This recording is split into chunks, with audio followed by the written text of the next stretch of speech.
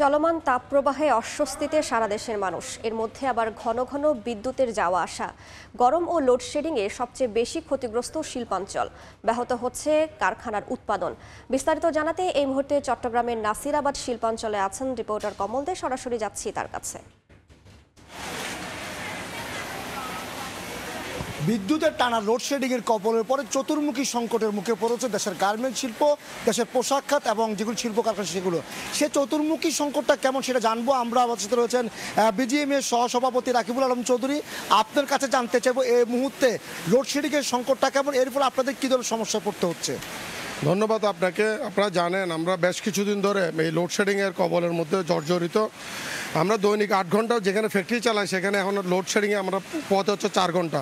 এই লোডশেডিংয়ের কারণে বারবার বিদ্যুৎ আসা যাওয়ার কারণে আমাদের মেশিনারি পার্টসগুলো যেমন নষ্ট হচ্ছে এবং আমাদের কর্মঘণ্টা অনেকাংশে কমে যাচ্ছে এবং আমরা বিকল্প বিদ্যুৎ ইউজ করে যেভাবে করে ফ্যাক্টরি চালানোর কথা যে প্রোডাক্টিভিটির প্রয়োজন আমরা কিন্তু তা করতে পারছি না। আপনি একটা কথা বলেছেন যে আমাদের আপনাদের প্রচুর পরিমাণে ডিজেল প্রয়োজন হচ্ছে সেই ডিজেলের পরিমাণটা কেমন কারখানা পেতে কত ডিজেল লাগছে এবং সর্বমোট সারা দেশে যে গার্মেন্টস কারখানায় সেখানে ডিজেলের পরিমাণটা কত? আসলে আপনারা জানেন, এখন বিদ্যুতের দামও যেরকম বেড়েছে, সেরকম ডিজেলের দাম এবং পেট্রোলের দামও বেড়েছে। সেই ক্ষেত্রে আমরা কিন্তু সম্পূর্ণ ডিজেল দিয়ে ফ্যাক্টরিটা পুরো অংশে চালানো সম্ভব হচ্ছে না। কারণ যে পরিমাণ আমাদের ডিজেল প্রয়োজন হয় সেই পরিমাণ আমরা পর্যাপ্ত সবসময় সাপ্লাইও পাই না। আমাদের এক একটা ছোট ক্ষুদ্র মাঝারি ফ্যাক্টরিতে আমরা দৈনন্দিন পঞ্চাশ থেকে ষাট হাজার টাকার আমাদের ডিজেল লাগে। এবং আমাদের যে বড় অংশ ফ্যাক্টরিগুলো আছে, সেগুলো কিন্তু দুই থেকে আড়াই লক্ষ টাকার পার ডে ডিজেল লাগে। এর চাইতে বড় সমস্যা হচ্ছে আমাদের মেশিনের পার্টসগুলো কিন্তু নষ্ট হচ্ছে। কারণ আমরা যারা অটোমেশন ইউজ করি, আমাদের কিন্তু বিদ্যুৎ আসা যাওয়ার কারণে কিন্তু আমাদের পার্টসগুলো নষ্ট হয়। সবচাইতে এখন আমরা বেশি সমস্যা ফেস করতেছি। আমাদের যে শ্রমিক ভাই বোনেরা ওনারা বাসা বাড়িতে গিয়ে যে পরিমাণে থাকে, ওখানে যখন বিদ্যুৎ থাকে না, ওরা অসুস্থ হয়ে পড়ে। ওরা প্রতিদিন কিন্তু আমাদের ডেইলি বেসিসে আমাদের অ্যাবসেন্টের হার অনেক বেড়ে যাচ্ছে। সেক্ষেত্রে আমাদের প্রোডাক্টিভিটি কিন্তু অনেকাংশে কমে যাচ্ছে।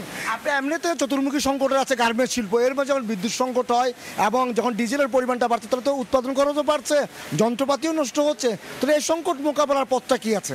একমাত্র নিরবিচ্ছিন্ন বিদ্যুৎ যদি না হয় কিন্তু এই সেক্টরটাকে ধরে রাখা কষ্ট হবে। এবং আমরা বারবারই বিদ্যুৎ বিভাগকে বলছি, আমাদেরকে যদি আপনারা যদি রেশনিং করে হলো দেন মানে প্রত্যেকটা অঞ্চলকে যদি যদি নির্দিষ্ট টাইমের জন্য যদি বলেন, তাহলে আমরা ওভাবে করে ফ্যাক্টরিটাকে কিন্তু আমরা প্রোডাক্টিভিটিকে চালু রাখতে পারি। এবং চাইব এই যে আজকে এমনও তাপদাহ চলতেছে, এর মধ্যে আপনাদের, আমাদের শ্রমিক ভাই বোনেরা এমন ওরা বাসা বাড়িতে থেকেও কিন্তু শান্তিতে থাকতে পারছে না। যার ধরুন ওরাও অসুস্থ হয়ে পড়ছে, আমরাও কিন্তু প্রোডাক্টিভিটিটা হারাচ্ছি। কারণ অ্যাবসেন্টের হারটা অনেকাংশে বেড়ে যাচ্ছে, কারণ আমরা মনে করছি এটা কমবে।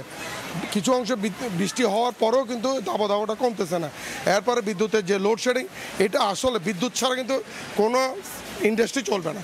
এটা মনে রাখতে হবে বিদ্যুৎ বিভাগকে এবং সরকারকে। তাহলে এখন এটার পরিকল্পনা পথটা কি হবে? আপনারা যে যে বিদ্যুৎ সংকট উত্তরণের জন্য পথটা কি? আপনারা সরকারের কাছে কি চান এখন? আমরা সরকারের কাছে চাই নিরবচ্ছিন্ন বিদ্যুৎ এবং আমাদের গ্যাসেরটা। বিদ্যুতের সাথে সাথে কিন্তু গ্যাসের পরিমাণ একটু কমে যাচ্ছে। কারণ একটার সাথে একটা লিঙ্ক আপ আছে। কারণ গ্যাস কমের কারণে বিদ্যুৎও অনেক সময় উৎপাদন হয় গ্যাসের মাধ্যমে।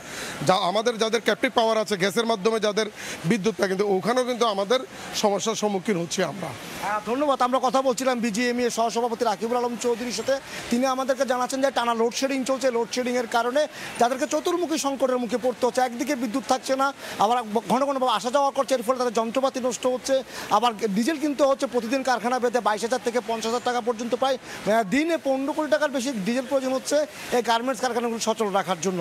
অর্থাৎ বলা যেত এবং তারা সরকারের কাছে আবেদন জানাচ্ছেন যেন নিরবচ্ছ বিদ্যুৎ সরবরাহ দেওয়া হয় এবং একই সাথে গ্যাসের সংযোগ থাকে যাতে জেনারেটরগুলো চালাতে পারে এখন পর্যন্ত আমার কাছে ছিল বিদ্যুৎ সংকটের কবলে পড়ে গার্মেন্টস একটি চতুর্মুখী সংকটে পড়েছে। সে বিষয়ে আমরা কথা বলছিলাম বিজেপি সহসভাপতি রাকিবুল আলম চৌধুরীর সাথে। তার সর্বশেষ। এতক্ষণ সরাসরি যুক্ত ছিলাম চট্টগ্রামে। দেখছি